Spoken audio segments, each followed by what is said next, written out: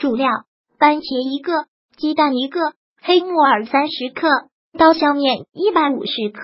辅料：有五毫升，盐三克，生抽八克，蚝油八克，十三香五毫升。准备时间：三十分钟到一小时。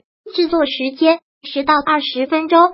准备所需原材料：黑木耳提前凉水泡发，番茄切块，鸡蛋搁入碗中备用。耐锅烧水，水开煮荷包蛋，煮好的荷包蛋备用。炒后放油，炸香蒜片，放番茄翻炒出汁，放生抽、蚝油、十三香调味，倒入煮荷包蛋的开水，水开下刀削面，刀削面煮熟，削黑木耳，开锅即可。关火放盐和香油。盛入碗中，放荷包蛋。烹饪技巧可以加些青菜，营养更好。如果喜欢本视频，请分享并订阅本频道。